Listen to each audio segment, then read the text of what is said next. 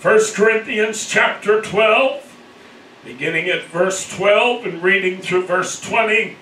The word of the Lord today from the King James text reads For as the body is one and hath many members, and all the members of that one body, being many, are one body, so also is Christ. For by one Spirit are we all baptized into one body, whether we be Jews or Gentiles, whether we be bond or free, and have been all made to drink into one Spirit. For the body is not one member, but many.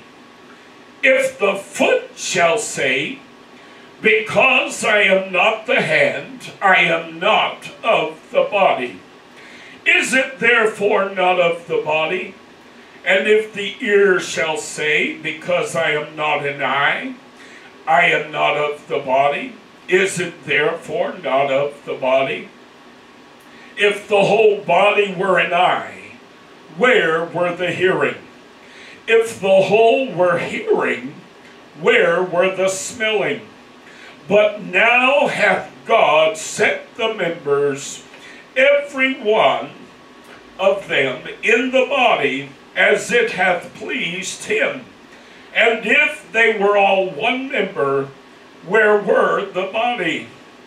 But now are they many members, yet but one body. Amen. Amen. Annie Garcias, Garcias, I don't know how to pronounce your name exactly. We're happy to have you with us today as well. Amen. I see your name there. If you'll bow your heads with me one more time. Father, today, God, once again, we humble ourselves in the presence of the mighty King. And we ask God today that the anointing of the Holy Ghost would rest today, O God, upon both the speaker and the hearer. Lord, the Word of God going forth is a divine exercise. If all it were were men's feeble efforts at conveying divine truth, it would fall flat upon the ground and would accomplish nothing. But we understand, O God, when the presence and the power and the anointing of the Holy Ghost rides upon the wings of love and carries the Word of God forward as the preacher delivers that which has been given him by the Holy Ghost. Lord, that anointing delivers, that anointing saves, that anointing breaks the bondage and the yoke of sin and unbelief it delivers from addiction. It brings us out, oh God, of the traps and the tears and the wiles of the enemy. Oh God, we need the anointing today. We need the anointing today, God, more than ever. We have needed the anointing. The Word of God teaches that that day shall not come, except first there come a great falling away. And today, oh God, so many in your church have fallen away. They've fallen after political influence. They've fallen after secular influence. They've fallen after economic influence. Their interests are everything but spiritual. And Lord, today I have no desire, none whatsoever to preach a message that would appeal to the masses. But my desire, oh God, is to preach a word that would minister to the sincere, that would minister to those people today, oh God, who genuinely want to hear from heaven. Help us today, oh God, to minister the word of God effectively, clearly, powerfully, in love. For we ask it in none other than Jesus wonderful name. Glory to God. Amen. amen. Praise God and amen. The Word of God tells us today, according to the Apostle Paul, in his first epistle to the church at Corinth, that the body of Christ is made up of many members.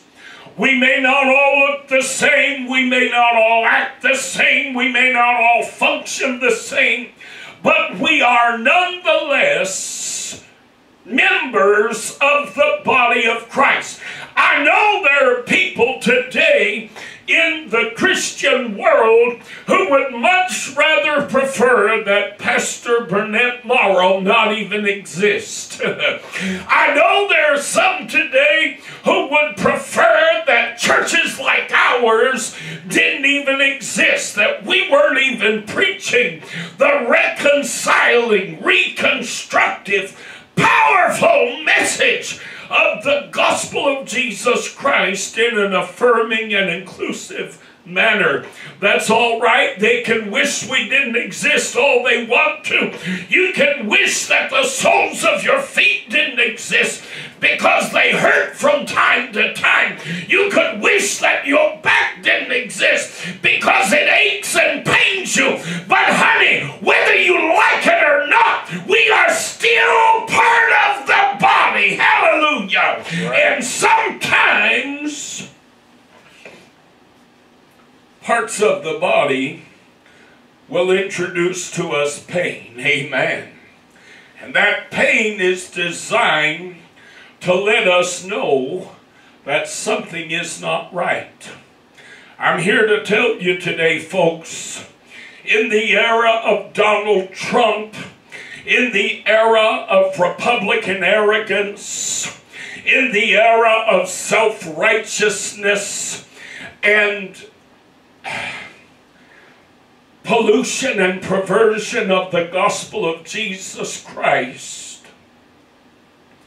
I want you to understand today.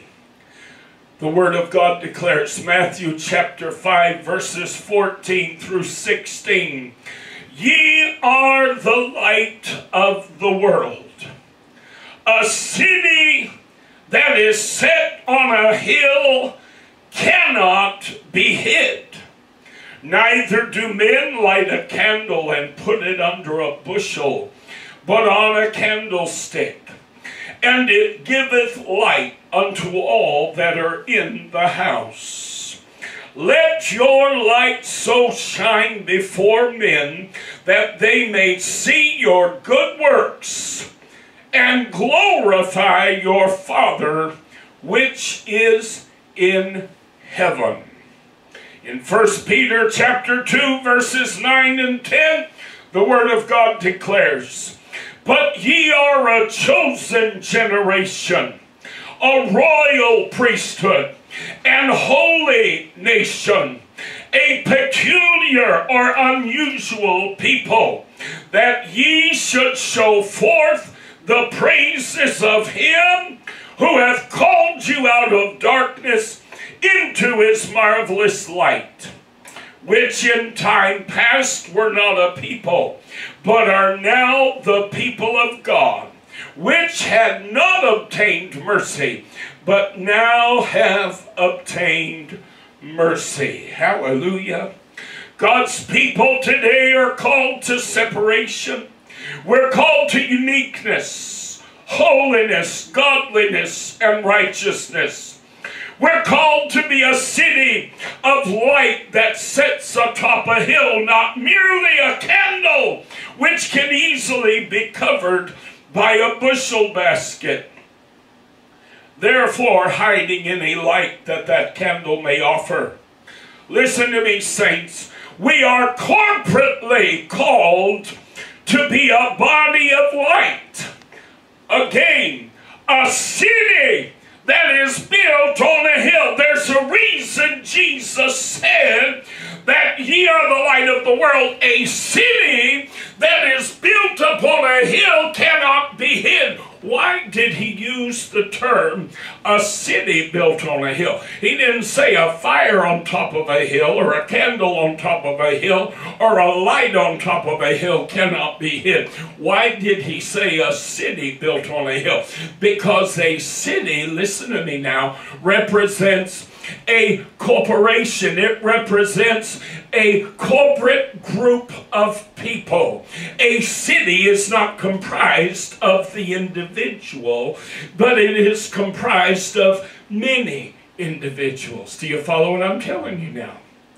So when the Lord said a city that is built upon a hill, he's comparing the church to a corporate body that is supposed to provide light and illumination to the world, not just the individual. You see, each of us as an individual child of God, each of us as an individual believer, we can only provide so much light. Amen. We can only provide so it's like lighting a candle versus lighting a hundred candles on a birthday cake. When you light a whole bunch of candles, all of a sudden the light's a whole lot brighter, isn't it? Well, a city that is built on a hill is a whole lot brighter because you see light coming from every window window of all the structures, of all the businesses, and of all the homes, and of all the places of worship, and of all the gathering places. There is light coming from a number of sources. If you've ever flown at nighttime, then you know as you fly into Dallas, for instance, and you look out the window of that plane, my goodness, it just looks like the ground is lit up, doesn't it?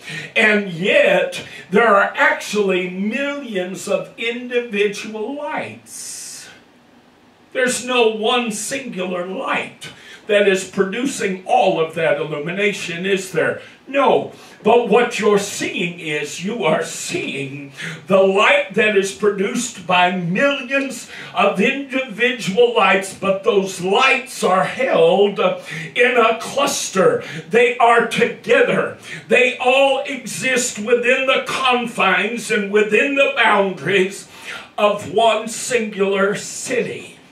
If you look at the earth from a space telescope or from a satellite, then you know that you see all kinds of lights on the face of planet Earth. Everywhere you look, there are little uh, patches of light, and yet not one of those patches of light that you see, not one of them, listen to me, is created by a singular light source.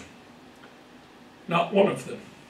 Every one of those lights that you see from space on the face of planet Earth is the it's the conglomerate of millions of individual lights. Jesus said, "You are the light of the world, a city." that is built upon a hill, that's set upon a hill, cannot be hid. Why? Because we are a body. We are not individual believers. You see, one of the biggest problems we have in the church today is this me, myself, and I mindset. Mm-hmm. The me, myself, and I mindset has crept into the world. America is guilty more than any country on the face of planet Earth of the selfish, self centered, me, myself, and I mindset. Amen. We are full of the most selfish, self centered uh, people that the world could possibly know. We have people today that call themselves Christians. How dare they? And identify as why, the only party on planet Earth that represents God and stands by the Word of God, the Republican Party, the grand old party. And yet, these same people are so selfish and so lacking in compassion that they have no desire in the universe to help the stranger. They have no desire in the universe to minister to the sick. They have no desire in the universe to be kind to those who are in prison. They have no desire in the universe to care for the poor and the needy among us.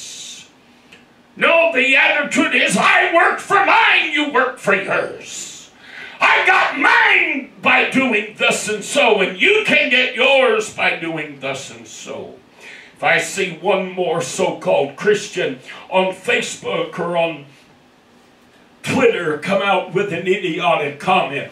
I worked hard. I worked two jobs. I went to college and I worked my way through, bless God. And if the United States were to start offering free college education to people, am I going to get a refund?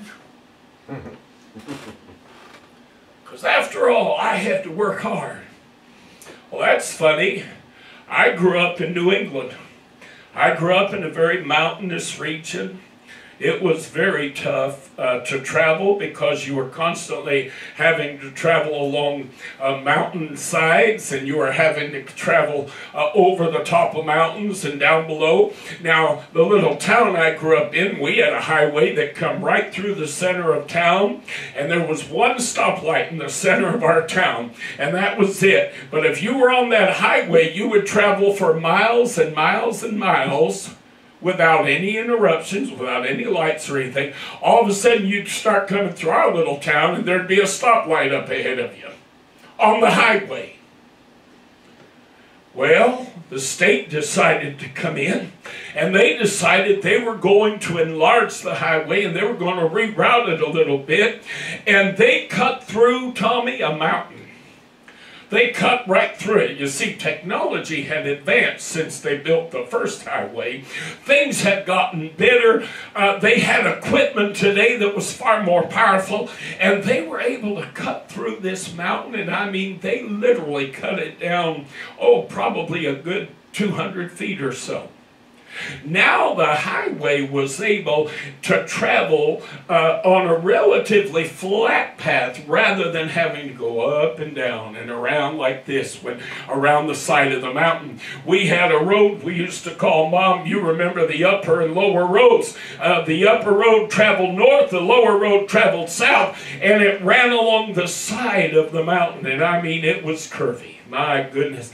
It was us young people when we got our driver's license, and we used to love that upper and lower road. Man, you'd let the gas open up and you'd tear down that road. Well, of course, when you grew up in that community, you knew every curve before you ever got there, you know. But people died on that highway. A lot of people drove off the, the sides of those mountainous roads, you know, because they were so bendy and curvy. But they changed the highway and they they made it slightly over to the uh, west of the old highway and they cut the mountain right through.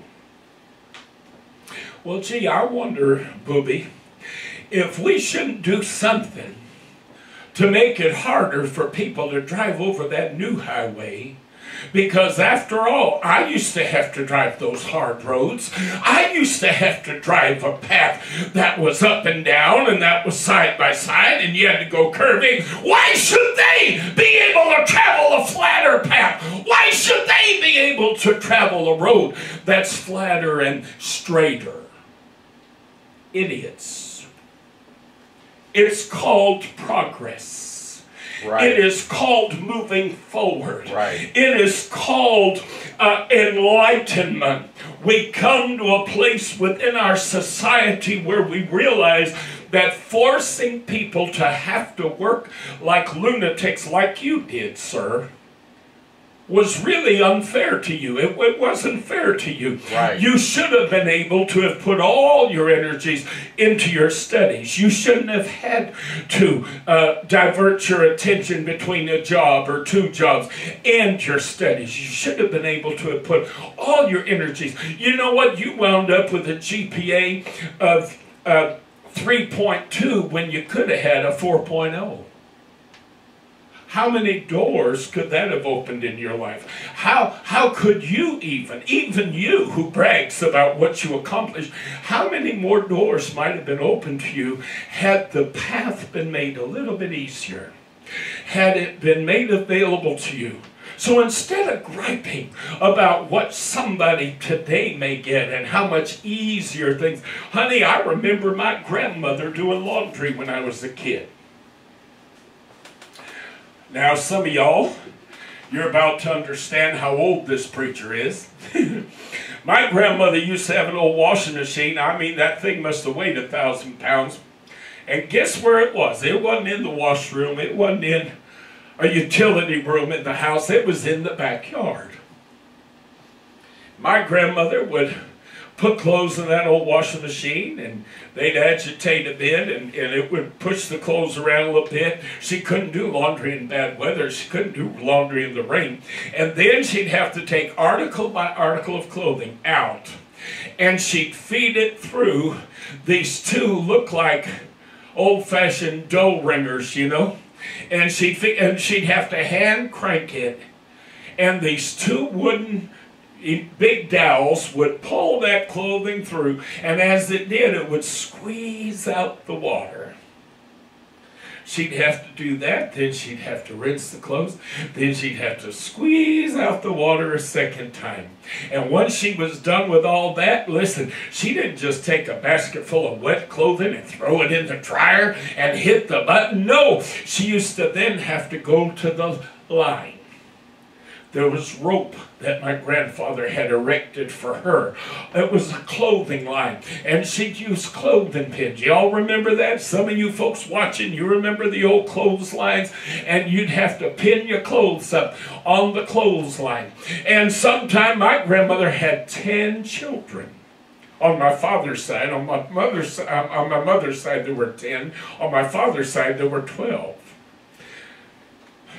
Do you know grandma would have to spend, both grandmas would have to spend hours and hours and hours and hours a day just trying to get the clothes dry. Because when you had that many clothes, unless you had thousands of feet of clothing line, which of course a lot of times they would hang several clothing lines up, and you'd have rows of clothing line, but you'd have to hang up as much as you could let the wind and the air blow through it and dry it. Then they pull all that in, and immediately Grandma was hanging up the next round of clothing. Am I telling the truth? Sometimes it could take two days to get laundry done back in the day. So, what can we do to make it harder for ladies and men today to do the laundry? Because, after all, it's not fair that my grandmother had to work that hard to do laundry, and today there are washing machines in your home. Why, you don't have to go outside. You don't have to bring the clothes through the wringer. You don't have to uh, uh, hang your clothes on the line like you said. What can I do to make it harder? Because it's not fair that folks used to have to do things that way. It's called progress. Let's wake up. Let's quit being so selfish and self centered. And let's quit thinking of ourselves. And let's think about the next generation and the people who are coming up behind us as a child of God, if I can make your journey the least bit less complicated, if I can make your journey the least bit more difficult, if I can make your journey uh, the least bit easier, listen, I'm all for that. Amen. As a child of God, I'm all for that. I'm all for universal health care because I know not everybody can get a job that has benefits. Not everybody can get a job that offers Blue Cross and Blue Shield. Hello now the biggest part of our workforce in America is people who work for places like Walmart and uh, places like this and McDonald's and all of these service industry jobs. And not a one of them, honey, offers any kind of health care benefit. Not a one of them is going to give you Blue Cross Blue Shield.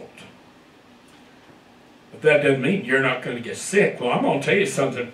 When I was a kid, if you well, not when I was a kid. I have to go a little further back, thank God. My grandfather would talk of a day when he used to have to follow a horse with a plow, and that horse would pull that plow through the field. And it was hard work. My grandfather, he wasn't riding on nothing, Tommy. He was literally having to walk behind the plow and that poor horse would be tugging that plow through the field. Now, I'm going to tell you a little secret. Back in the day, people that owned work animals, if that animal got sick, they went out of their way to take care of that animal and make sure that animal could be well. You know why? Because that animal represented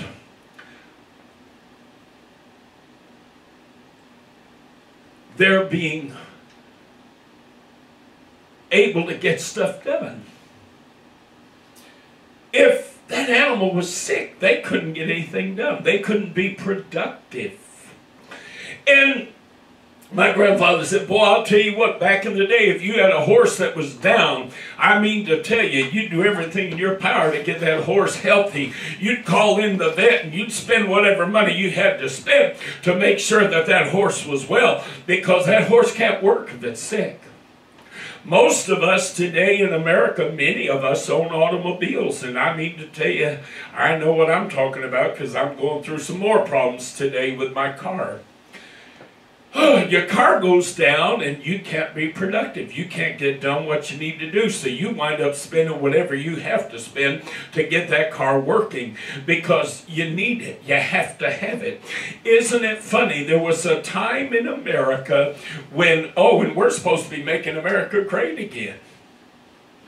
But right. nobody's talking about going back to the days when factories and employers cared about their employees and understood that the most important thing they had was their employees. Right. And therefore, if their employee was sick or their employee wasn't well, their employee could not be productive. So they made sure that employee had access to a doctor. When I was a kid, my father worked for a factory in New England, in Connecticut. He worked for a copper factory. And do you know that that copper factory had a doctor? Did you hear what I said? My, my father's factory had a doctor. Doctor uh, used to be right next door to the factory. His offices were right next door to the factory. And they had a contract with that doctor. If anything was going on with anybody in that factory or their families, they could send them to that doctor. And we used to go to that doctor.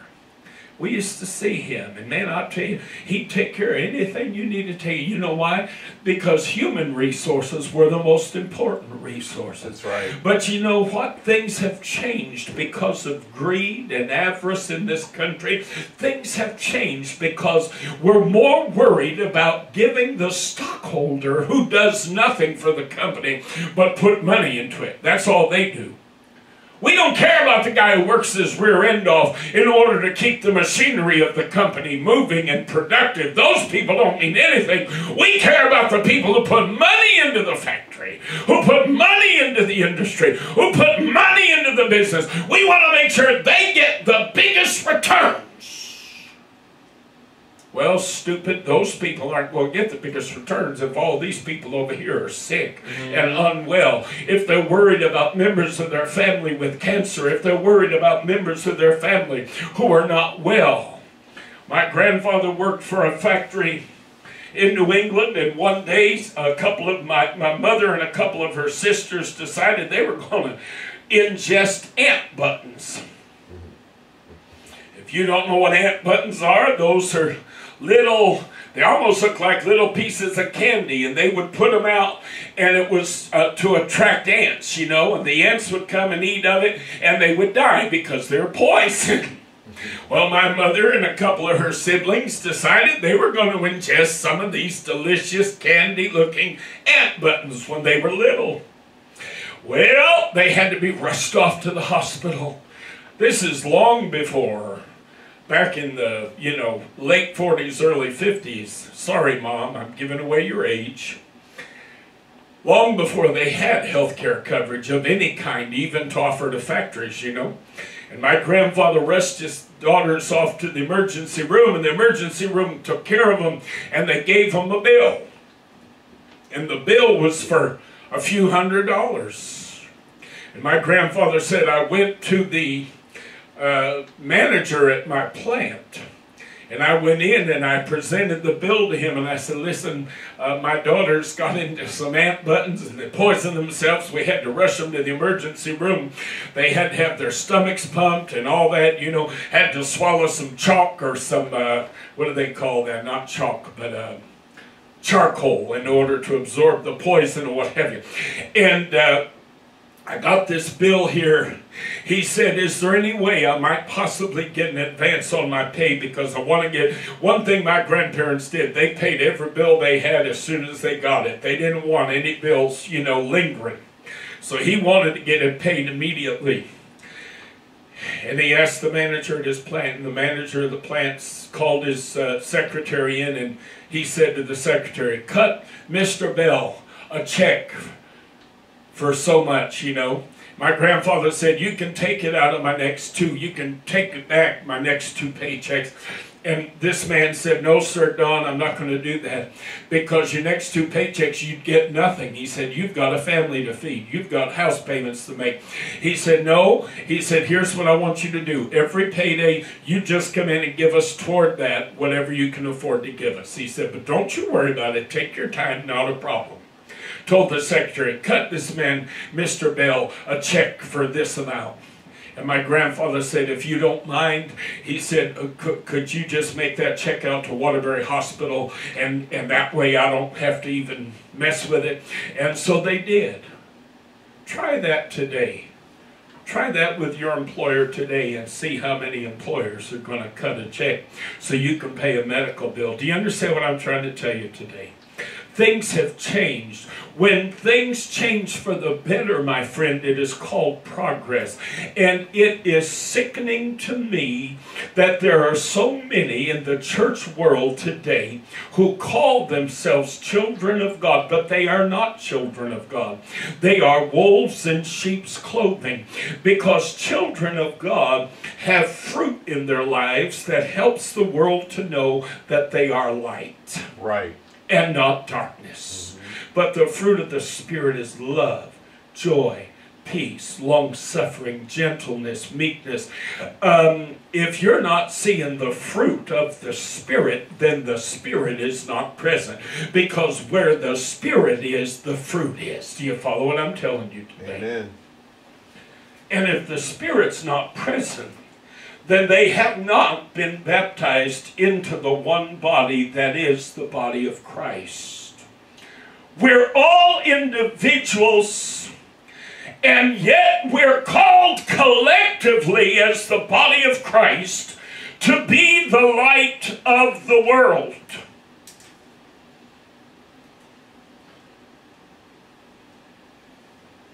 There is a reasoning behind the call to follow peace or pursue peace with all men and holiness without which no man shall see the Lord according to the word of God. And the reasoning for this mandate is not, it is not at all what we often hear preached in churches and what we hear generally presented. If we as the body of Christ, each individual members in particular, pursue godliness and holiness in our lives, then we function, listen to me children, this is important. We function as a healthy cell within the body, which in turn helps other cells, which may be less healthy than ourselves, to defeat temptation, to overcome sin, to rise above unbelief, and to raise themselves to a higher level of godliness and righteousness. And what does this accomplish? It thus brightens our collective light and causes our corporate flame to burn brighter, stronger, and more vividly. Everything I do, my brother and sister in Christ, I do for you. Hello. Did you hear what I said today? The title of my message, Everything I Do, I Do It For You. Who was it? Meatloaf sang the song? Was it? Or somebody else? I'm not, I'm not as big on popular music as Tommy is. Do you know who it was? Uh, Bryan Adams, I think. Bryan Adams sang the song Everything I Do, I Do It For You. I love that song. I thought it was a beautiful song. But you see, as a child of God, everything we do, we do it not necessarily for ourselves, but we do it for others. We do it for the benefit and the health and the well being of our fellow brother and sister in Christ. We do it as a testimony, as a witness to the unsaved, to those who are outside in the world. We do it for the Lord. Everything I do, I do for somebody. I'm either doing it for the Lord, I'm doing it for my fellow believer, or I'm doing it for the unbeliever. But there's very little that I do that I do for me. Mm-hmm. Why? Because I'm a member of the body of Christ. As a member of the body of Christ, if I work to make certain that every cell around me is healthy and well, then I keep the lamp burning bright and I keep the light shining bright. But if I, as a child of God, get into this me, myself, and I mindset, and all I think about, all I care about is myself, and I don't function with the thought of my brother and my sister in the faith, then what happens is if I'm unhealthy, they become unhealthy. If they're unhealthy, they become more unhealthy because they're not surrounded by healthy cells. Do you hear what I'm telling you now? And then the entire body begins to become toxic. And the light that should be burning bright is growing dimmer and dimmer and dimmer. If you look at the body of Christ, if you look at the church in America today, it is not shining as it ought to be shining. It is not as bright as it ought to be bright. Why? Because there are leaders and there are individuals in the church who are false apostles, who are false leaders, who are false Christians and like a cancer, they're infecting the rest of the body. A believer who lives unto himself or herself without thought or concern for the spiritual well being of his or her brother or sister in Christ is not following the mandate of God's word, neither are they fulfilling the will of God for the church universal. In John chapter 15, verses 8 through 14, Jesus our Lord declares, Herein is my Father glorified, that ye bear much fruit. Not just bear fruit, but bear much fruit. So shall ye be my disciples. As the Father hath loved me, so have I loved you. Continue ye in my love. If ye keep my commandments, ye shall abide in my love, even as I have kept my Father's commandments and abide in his love. These things have I spoken unto you, that my joy might remain in you, and that your joy might be full. Listen, verse 12, John 15. This is my commandment that ye love one another as I have loved you.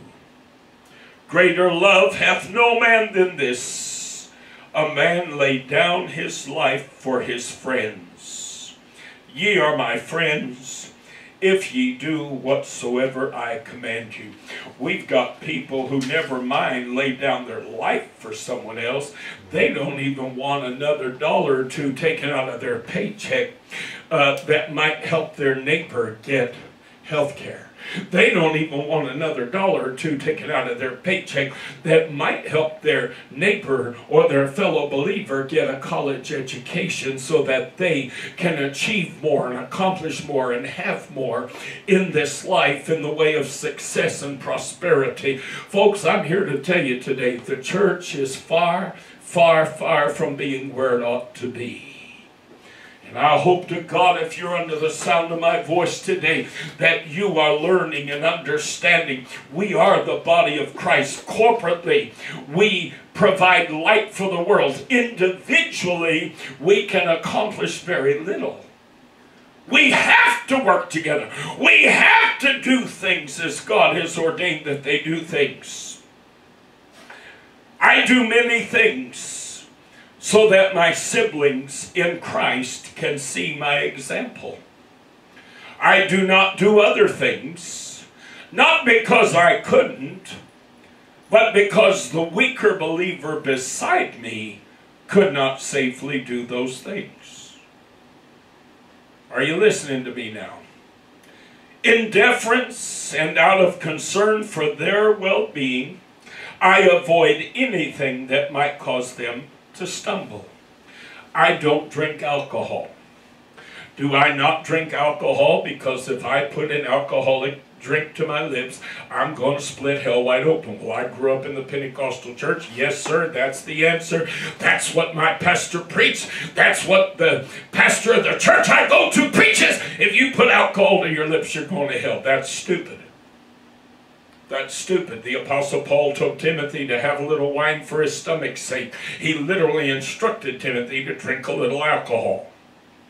Don't give me that foolishness that alcohol in and of itself is wicked and evil. No, the Word of God warns us, folks, that alcohol can be a very negative, a very destructive influence in our body and in our lives. You can compromise your testimony as a child of God by drinking and getting drunk and then turning around and doing something stupid that if you were in control of yourself, if you were sober, you would never have done. And then your testimony goes down the toilet. The Word of God said, casting all your cares upon Him, for He careth for you. As a child of God, I don't need alcohol. I don't need to medicate myself with alcohol. I don't need to use uh, booze in order to calm my nerves. I don't need to use booze in order to escape the reality of the struggle I'm going through at this hour. I don't need it. Why? Because I have Jesus. But why does Pastor Charles not drink alcohol? Because if I have a glass of wine with dinner, I'm going to hell. Because if I have a glass of wine with dinner, the devil's going to come claim my soul. No. Everything I do, I do it for you. Because there are some among us who couldn't have that one glass of alcohol without it being a, a, a slippery slope and before too long, they'd be right back to drunkenness and abandon. They'd be out of control. And do you follow what I'm telling you now? So, what I do, I do as an example. What I do, I do in deference to my fellow believer. Do you follow what I'm saying today? Same thing with drugs. Same thing with uh, uh, uh illicit sexual conduct Everything I do, I do for my fellow believer. It's my job to set an example. The Word of God, Paul the Apostle told Timothy, he said, Let no man despise thy youth, but be thou an example unto the believers. So he's even telling Timothy, who was young, don't let your conduct be such that others look at you and say, oh, brother, he's young. He's acting stupid. He's acting the fool. But Paul's telling Timothy, even in his youth, but be an example unto the believers. What am I telling you, Timothy? I'm telling you, Timothy, everything you do, do for somebody else. Do as an example. Do you hear what I'm telling you? Tommy will tell you Anybody who's known me for any length of time will tell you, I don't wear jewelry. I have a wedding ring. I do not wear jewelry. I wear plastic watches. I've worn these for decades. I've bought Casio uh, plastic, you know, handled watches, or, or not handled, but what do they call that? Bands. I do this on purpose. I do this on purpose, folks. You know why I do this? Because there's all kinds of television preachers out there who are living the me, myself, and I mentality. And if they want to have a Rolex, bless God, they'll have a Rolex. And I believe it's insane for a preacher of the gospel to be up there preaching with a Rolex watch that costs more than some people's cars when there are people watching him preach who are hungry and who are struggling.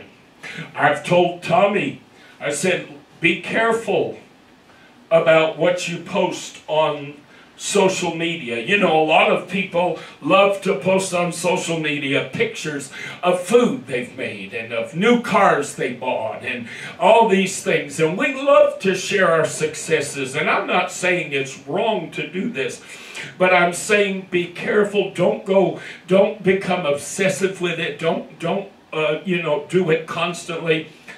There was a time in my life, folks, when I went through some really difficult circumstances. I mean hard circumstances. And some of these times don't go back too far. I mean, they go back 20, 20 years or so. I've been at the place where I had no food, where I had no money for food, where I was struggling like you can't even believe the last thing in the world I needed was to be looking on my phone if I had if I was blessed enough to have a phone and see images of all these wonderful meals that people have prepared. Do you follow what I'm telling you? Now, we don't make a habit of doing that, do we? But do we do do we not make a habit of it because if we do so we're going to hell? If we do so good no. No, that's not it. Everything I do, I do it for you. I think about others in every decision I make. I understand people are struggling. I understand right now that people are having a hard time with this pandemic going on and what have you. Therefore, every decision I make, I make with others in mind. Do you follow what I'm saying today? If I do post something, if I do say something, if I do share something, I try to frame it in such a manner as to encourage others to do good and to encourage others to do the right thing. If I share something, I share it as a blessing from God and I help other people to understand. I believe if you'll do right and you'll act right and you'll live right and you'll walk right, that God will bless you and He'll help you so that you too can be blessed as I'm being blessed right now. I'm being blessed because I give. I'm a giver by nature. Anybody who knows me knows I'm a giver. Therefore, if God gives back to me, then I share that. Why? As an example. Folks, I'm telling you right now, if you'll give, God will give back. God don't owe nobody nothing. You can't outgive God. So I don't do certain things, not because I couldn't do it, but because the weaker believer beside me could not do those same things without stumbling and falling.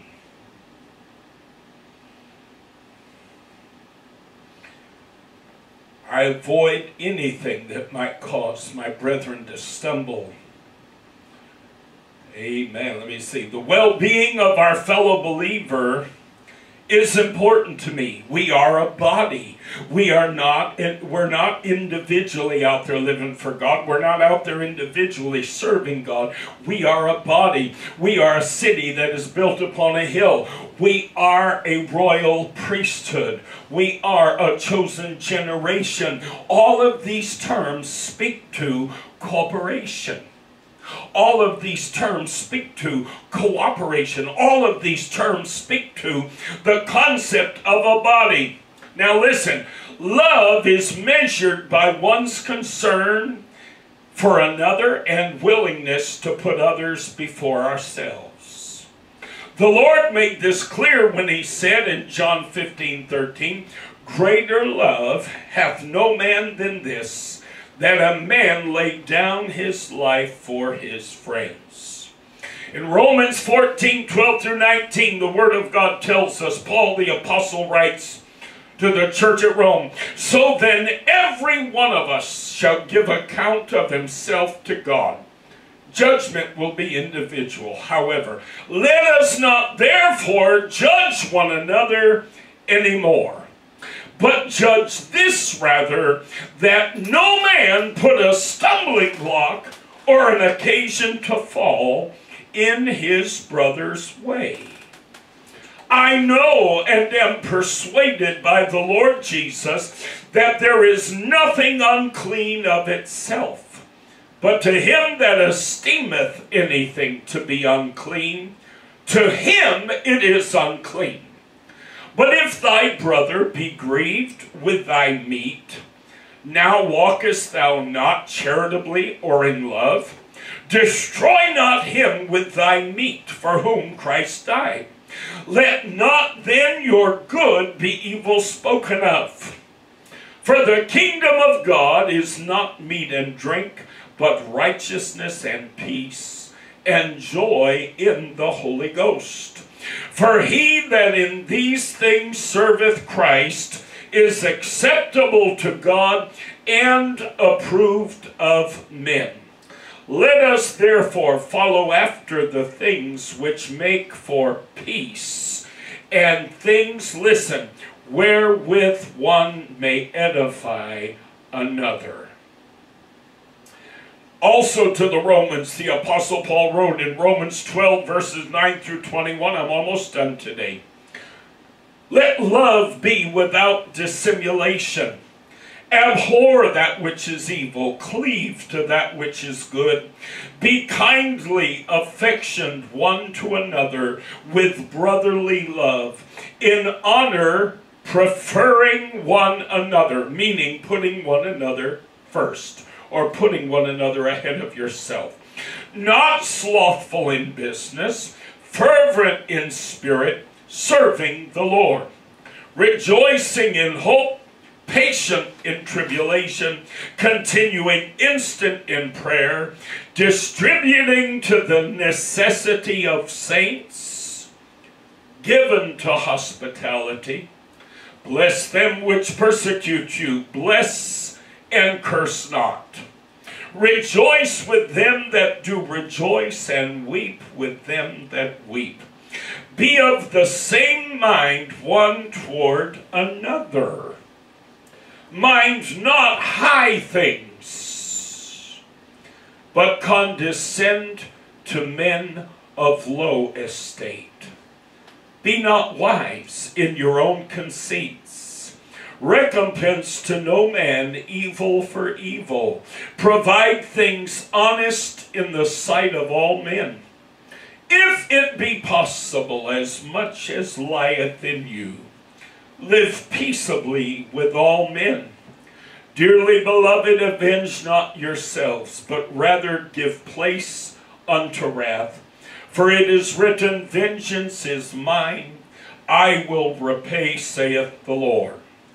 Therefore, if thine enemy hunger, feed him. If he thirst, give him drink. For in so doing thou shalt heap coals of head, excuse me, coals of fire on his head. Listen, be not overcome of evil, but overcome evil with good.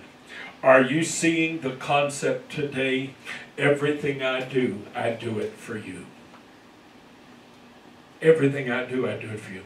I'm, I'm either doing it for my fellow believers' benefit, or I'm doing it for the unbelievers' benefit, or I'm doing it for my Heavenly Father. But, honey, it's all about, as a child of God, living for others. Our lives ought to be given in the interests of others. We're supposed to set an example. We're supposed to care. We're supposed to give. If a, if a member of the body is without necessary supplies we're supposed to supply. When Johnny and Bill, I went to visit them even in this uh, pandemic situation. I ran by there. The Spirit of the Lord laid on my heart to give our church members a little bit of money. Somebody blessed me with some money, and I felt the Lord lay on my heart to give a $100 to each of some of our people and uh, well to all of our local people and to some of our people online who have been following this ministry for years. And I feel like they're part of our church. And I went to Johnny and Bill so I could bring them this. And when I did they told me about a man that they knew personally who had just lost his home and was literally having to live in the woods his home was literally taken right out of underneath him. And he was living in the woods. He had a car, but he was living in the woods and was having to live homeless. And this man had asked if anybody had a cooler that he might could have or use. And so I came to the house and I knew I had a couple of coolers around. I forgot that I brought one or two of them up to our property in Oklahoma. And so I got to the house, I'm looking around for a cooler. The only one I had was my good one that had wheels and had a handle that comes up. And that was the only cooler I had available at the house. It was basically brand new, you know, it's in excellent condition. And I said to Tommy, I said, well, if you're not willing to give your best away, you're not willing to give anything away. Amen. It's not about, it's not about, well, I'll give away what's the worst I've got. It's no, hey, you give. If there's a need, you give. I told Bill and Johnny, I said, give me a little bit. I'll be right back in a minute. I'm going to get the cooler I've got. I said, I'm sure I've got at least one. I'm going to get it. I'm going to bring it back to you, and then uh, you can bring it to this gentleman. I filled that cooler up with a whole bunch of canned goods. I put some bottled water in there. I put some garbage bags because, you know, if you're going to be living out the way this poor guy's living, he needs a way to throw away his garbage and what have you. I put some paper plates in there, some plastic spoons and what have you, and some plastic cups. And I mean, I put all kind of supplies in that cooler and uh, put some other things together. And I brought it over back to Johnny and Bill, and I said, here you go. Now you bring this to that man and you tell them this we do in Jesus' name. Because everything I do, I do it for you. That's how God's people ought to live their lives. That's how we, I don't say that to glorify myself. I say that as an example to the believers. Do you follow what I'm saying today? I talked about the fact that a while back, I'm trying to close up. I have one more short passage I want to read to you in a second. Tommy and I used to go to Denny's fairly frequently after church. Some of our church folks would go with us to Denny's. There's a homeless man, heavy set, a little bigger than I am, or bigger than I was. I've lost a few pounds since then. And one day it was extremely cold outside, and this homeless man was sitting in Denny's. He often would be there, just drinking a cup of coffee. He didn't always, I guess, have money for a meal. I don't know, but I had helped him at times. I gave him gift cards to McDonald's and Denny's and what have you, try to help him eat. A lot of times, folks, here's an idea. If you see somebody who's homeless or uh, what have you, uh, buy them a gift card at McDonald's. Don't give them cash, you know, because they can go spend it on alcohol or whatever. Go buy them a gift card at McDonald's or Wendy's or something and give them the gift card and tell them how much is on it so they can buy some food. I do that frequently as well when I have the money. I, I'm not rich, so that isn't often. This man's sitting and he has no coat. It's freezing outside. I mean, it was freezing outside, probably the coldest day of the year nearly. And I asked him, I said, where's your coat? He said, it was stolen. He said, somebody stole my coat. I said, oh dear Lord, you're kidding. So listen, you stay right here. I'll be back in a minute. Thank God Tommy and I only live about, oh, five, six blocks away from the Denny's or so. So I said, you stay right here. I'll be right back. I came to the house. My favorite coat in the entire world was this great big uh, camouflage hooded coat, had fur like inside the, the hood, and it was the warmest coat because it's made for like hunting and that sort of thing. I mean, this booger was so warm and so cuddly, but it was also about a size or two too big for me. But I wore it because I loved it. It was so cozy. I wore that thing and I loved it. Beautiful coat. And I came home and I pulled it out of the closet and Tommy said, are you going to give him that? Isn't that your favorite coat? I said, yeah. I said, but he's got a need far greater than my need. He's cold. It's cold. If he's going to be homeless, he don't need to be homeless out in this freezing cold. He can use this coat. He was bigger than I was, so I knew this coat would fit him better than any other coat I could have given him. So I brought him that coat. I went back and gave him that coat. Folks, I want to tell you today, as God's people, everything I do, I do it for you. Hebrews 10, 23 through 25, I'm ending right now. Let us hold fast the profession of our faith without wavering, for he is faithful that promised. And let us consider one another to provoke unto love and to good works. not forsaking the assembling of ourselves together as the manner of some is, but exhorting one another, meaning encouraging one another, and so much more as ye see the day approaching. Child of God, if you live your life as though you are the highest priority in your world, you're not living your life according to God's design. You're not living your life the way God would have you to live it. I'm telling you the truth today. Everything I do, I do it for you. We're to be mindful of one another. Why? Because we are the body of Christ. Any light that we have in the world is amplified by the fact we are a body. One candle provides little light compared to bringing together hundreds or thousands or millions of candles.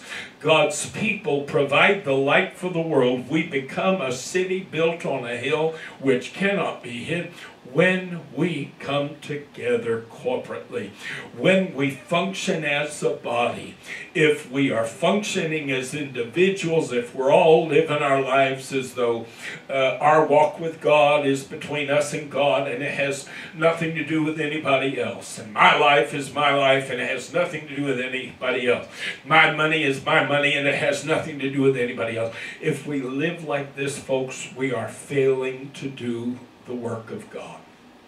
And we're failing to live as God would have us live. Our motto ought to be, as children of God, as believers, as saints of the Most High, everything I do, I do it for you. Hallelujah.